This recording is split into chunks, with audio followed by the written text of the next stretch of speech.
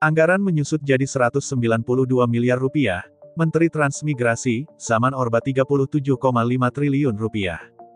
Menteri Transmigrasi Iftitah Sulaiman menyebut saat ini anggaran untuk Kementerian Transmigrasi hanya sebesar 192 miliar rupiah pada tahun 2024. Angka ini disebut jauh lebih kecil ketimbang Kementerian Imigrasi di era Orde Baru yang mencapai 5,4 triliun rupiah. Besaran anggaran 192 miliar rupiah yang ada saat ini untuk Direktorat Jenderal Pembangunan dan Pengembangan Kawasan Transmigrasi PPK Trans. Ia menyebut di era Orde Baru, anggaran Kementerian Imigrasi mencapai 5,4 triliun rupiah.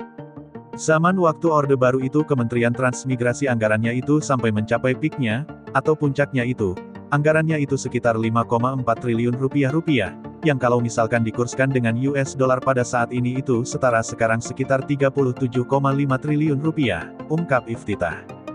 Dengan anggaran yang ada saat ini, Iftitah bilang imigran yang dapat diberangkatkan hanya puluhan kepala keluarga. Sebab secara kos operasional jauh lebih kecil dibanding pada saat Orde Baru. Jadi, secara kapasitas, dengan anggaran sedemikian, itu hanya mampu, paling-paling beberapa puluh kepala keluarga. Beda dengan pada tahun 1995 dulu, itu memberangkatkan sekitar hampir 50 ribu kepala keluarga, lanjutnya. Sebagai catatan, berdasarkan catatan Kementerian Transmigrasi, pada tahun 2024 lembaga yang dipimpin Iftita ini mendapat pagu anggaran 192 miliar rupiah.